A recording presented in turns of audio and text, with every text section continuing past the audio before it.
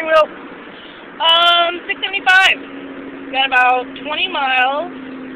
Oh wait, here comes my sign. I can tell you exactly how many miles I have. Hey, I was right. I have exactly 20 miles.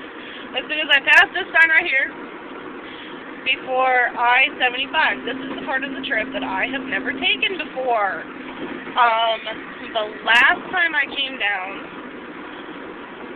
I I can't remember.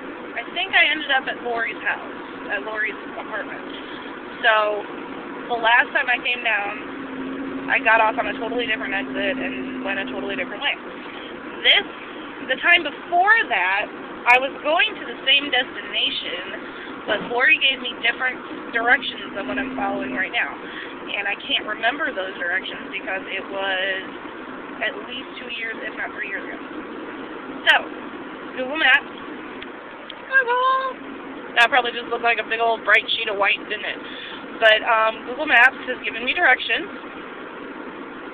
that I have never followed before. And as soon as I'm done with this little video portion, I'm going to pass this. In fact, I'm going to pass. No, I can't now. This Alpha in front of me is pissing me off.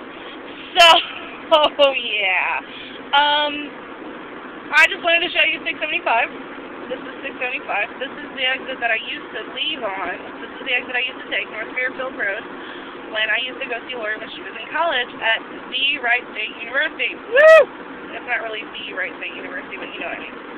So that's the exit I used to take. Bye-bye! And technically, we are now in Beavercreek. Yeah, that's right. I said it. That's what she said. Oh, no, I didn't say that. now we're in Beavercreek, baby. Alright, so, that's all for now, and we'll see you later.